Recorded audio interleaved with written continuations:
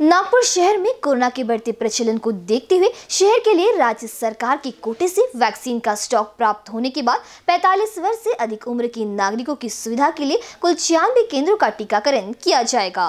इनमें government medical college and hospital में तीन केंद्रों पर Covaxin Indira Gandhi medical college और अस्पताल में दो केंद्र और 45 वर्ष से अधिक आयु के नागरिकों को चार आईएमएस में कोविशील्ड सहित छियानवे केंद्रों पर टीका लगाया जाएगा। साथ ही 18 से 44 वर्ष के आयु वर्ग के व्यक्तियों के लिए तीन अतिरिक्त केंद्र शुरू किए गए हैं, जिसमें प्रभाकर राव दत्त के Mahal diagnostic centre, Chhaprunagar central avenue और Manewada urban primary health centre में कोवैक्सीन टीकाकरण किया जाएगा। इसके अलावा पाचपावली अस्पताल, इंदिरा गांधी अस्पताल, गांधीनगर और इमामवाड़ा आइसोलेशन सेंटर में कोविशील्ड टीकाकरण किया जाएगा।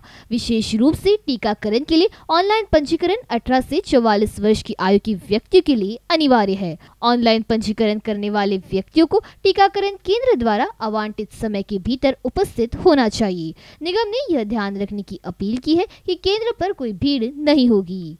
कैमरा पर्सन राजकुमार मोहर के साथ अभिषेक पान से बी न्यूज़ नागपुर।